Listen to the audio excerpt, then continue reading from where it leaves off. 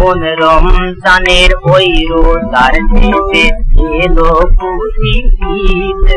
তুই আপনাকে আজ শোন আসমানি আজ প্রায় সব বাঙালি মুসলমানের বাড়িতেই বাজছে রোজারিদের এই গান। সংগীত প্রিয় ধর্মপ্রাণ মুসলমানরা ইসলামী গানও শোনেন নিয়মিত একসময় সবই ছিল কল্পনাতীত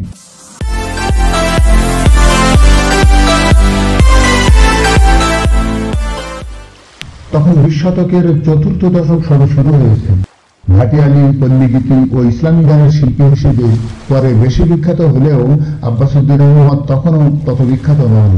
একদিন নতুন একটা আইডিয়া এলো তরুণ আব্বাসুদ্দিনের মাথায়। কাজী নজরুল ইসলামকে বললেন কাজীদা পিয়ারু কাওয়াল, কাল্লু কাওয়ালরা যে উর্দু কাওয়ালি গায়, তাদের গান তো শুনে অনেক বিক্রি হয় বাংলায় এই ধরনের ইসলামী গান যদি হয় না আপনি তো জানেন কীভাবে কাফের কুকুর ইত্যাদি বলে বাংলার মুসলমান সমাজের কাছে আপনাকে অপাঙ্কেয় করে রাখার জন্য আদগাল খেয়ে লেগেছে একদল ধর্মান্ধ আপনি যদি ইসলামী গান লেখেন তাহলে মুসলমানদের ঘরে ঘরে আবার উঠবে আপনার জয়গান।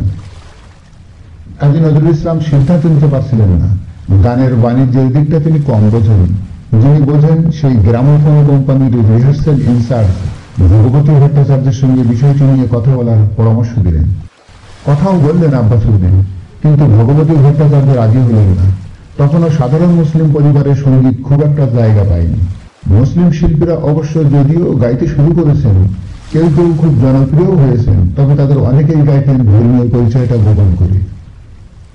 যেমন কে মল্লিক, প্রকৃত নাম মুন্সি মোহাম্মদ কাশেম, তাই শুধু কাসেমের আদ্যাক্ষরকে রেখে নাম দেয়া হলো কে মল্লিক। ওই নামেই ভীষণ জনপ্রিয় হয়েছিলেন বর্ধমানের কুসুম গ্রামের শিল্পী। তো বাজারে যখন আধুনিক রবীন্দ্রসঙ্গীত শ্যামাসঙ্গীত ছাড়া অন্য গান বেশি চলে না, সেসব গান মুসলিম শিল্পীদের কণ্ঠে শোনার মতো শ্রোতা যখন তেমন একটা গড়ে ওঠেনি, তখন আব্বাসুদ্দিন নামের কারও গাওয়া ইসলামী গান তো আরও কম চলার কথা। প্রস্তাবটি তাই? না, সম্ভব নয় বলে উড়িয়েই দিলেন ভগবতী ভট্টাচার্য। কিন্তু আব্বাসুদ্দিন হাল ছাড়েননি। তার মনে হয়েছিল, মুসলিম সমাজে চিরকাল গান বিমুখ নিশ্চয়ই থাকবে না। একবার স্বাদ পেলে উর্দু কাওয়ালির মতো ইসলামী গানও তারা বারবার শুনবেন। একসময় অন্য গানের মজাও তারা বুঝতে শুরু করবেন। ছয় মাস পর এক দুপুরে আবার গেলেন গ্রামোফোন কোম্পানির রিহার্সেল রুমে ভগবতী ভট্টাচার্য সেদিন খোশ মেজাজে চুটিয়ে গল্প করছেন আনন্দময়ী দাসীর সাথে। আব্বাসুদ্দিনকে দেখেই ভগবতী বাবু একগাল হেসে বললেন, বসুন বসুন, বসে কথা বলার সুযোগ পেয়ে আব্বাসুদ্দিন আর দেরি করলেন না। কোনো ভূমিকা না করে সরাসরি বললেন সেই যে ইসলামী গানের কথা বলেছিলাম না? একটা এক্সপেরিমেন্টই করে দেখুন না। যদি বিক্রি না হয়, আর নেবেন না। আগে নানা বলে উড়িয়ে দিলেও ভগবতী ভট্টাচার্য সেদিন রাজি হলেন। আব্বাস উদ্দিন ছুটে গেলেন কাজী নজরুল ইসলামের কাছে। কাজীদা ইন্দুবালাকে গান শেখানো বন্ধ করে শুরু করলেন তার জীবনের প্রথম ইসলামী গান লেখা। আধ ঘণ্টার মধ্যে গান লেখা শেষ। কিছুক্ষণের মধ্যে সুর করে গিয়েও শোনালেন সেই গান। অমন রমজানের ওই শেষে এলো খুশি ঈদ। তুই আপনাকে আজ ভুলিয়ে দে শুনুন আসমানি তাগিদ। চার দিন পর দুটি গান নিয়ে বের হলো বাংলা ইসলামী গানের প্রথম রেকর্ড। সে আমলে বাংলা গানে বাদ্যযন্ত্র বলতে ছিল শুধু হারমোনিয়াম আর তবলা। অল্প সময়ে এই গান রেকর্ড করা শেষ হলো। আব্বাস তো মহা খুশি। যাক, এতদিনে ইসলামী গান গাওয়া হলো। ওই গানের রেকর্ডও হলো। কয়েকদিন বাদে ঈদ তাই খুশি মনে কলকাতা থেকে ঈদ করতে চলে গেলেন কুচবিহারের গ্রামের বাড়িতে। ঈদের ছুটি শেষ হওয়ার কয়েকদিন পরে কলকাতায় ফিরে অফিসে যাওয়ার ট্রামে উঠতেই আব্বাসুদ্দিনের কানে এলো ওমন রমজানের ওই রোজার শেষে এলো খুশি এক তরুণ বসে বসে গুনগুনিয়ে গাইছে তার গান। অফিস শেষে গড়ের মাঠে বেড়াতে গেলেন, সেখানেও ছেলেরা বসে গাইছে ওমন রমজানের এই রোজার শেষে এলো খুশি ঈদ।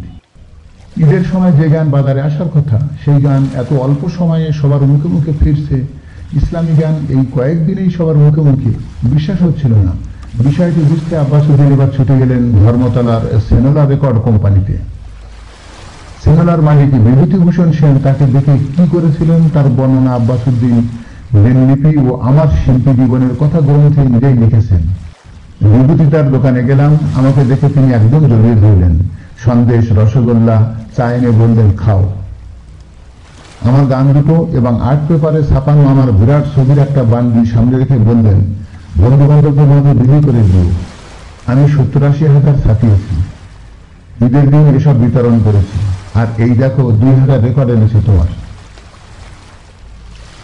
বাংলা ইসলামী গানের প্রথম রেকর্ড তো সুপার ডুপার হিট। গানের স্রষ্টা কাজী নজরুল ইসলামের সঙ্গে দেখা না করলে কি চলে?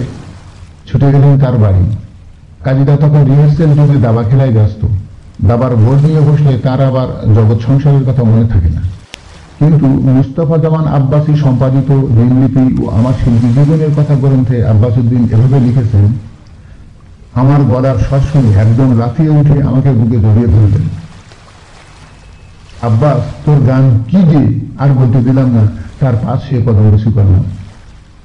ভগবতী বাবুকে বললাম, তাহলে এক্সপেরিমেন্টের ভাবে টিকে গেছি, কেমন? তিনি বললেন, এবার তাহলে আরও কখানা এই ধরনের গান। খোদাকে দিলাম কোটি কোটি ধন্যবাদ। তারপর ইসলামী গান চলবে কিনা তা নিয়ে আর কাউকে ভাবতে হয়নি। বরং ইসলামী গানের বাজার এত রমরমা হলো যে গাওয়ানোর তো এত মুসলিম শিল্পী পাওয়াই যায়। আব্বাসুদ্দিন একা আর কত গাইবেন প্রায় প্রতি মাসেই বাজারে আসছে তার রেকর্ড। একজন এত গাইলে একসময়তে একঘেয়েমি এসে দেয় তাই হিন্দু শিল্পীদেরও ইসলামী গান গাইতে হলো, মুসলিমদের নাম দিয়ে ধীরেন দাস হয়ে গেলেন গনিমিয়া চিত্তরায় হলেন দেলোয়ার হোসেন বীরেন চন্দ্রবর্তী হলেন সোনামিয়া আশ্চর্যময়ী হরিমতিরা হলেন সকিনা বেগম আর আমিনা বেগম। নয় দশক পর অবশ্য মুন্সি মোহাম্মদ কাসেমকে কেমল্লিক বা ধীরেন দাস আশ্চর্যময়ীদের গনিমিয়া বা সকিনা বেগম হয়ে শ্রোতার কাছে আসার কথা